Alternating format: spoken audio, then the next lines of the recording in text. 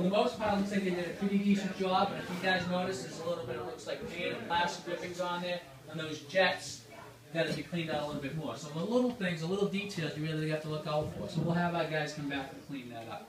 So this, again, we put the laminate floor down here. It's a, it's a common one we use. The color's great. Everybody loves it. We put a new vanity in. So this is what I was telling you guys before. It would cost uh, $84. So we have um, the uh, toilet paper holder, the uh, towel drop bar holder, the, the nice mirror, the thick mirror, and there should be another towel bar, and we have a towel bar holder over here. 84 bucks. How can you install? Install. All day long. So, yeah.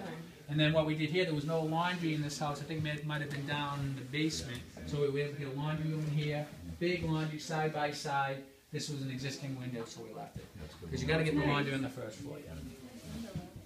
All right, so we'll just go in here. So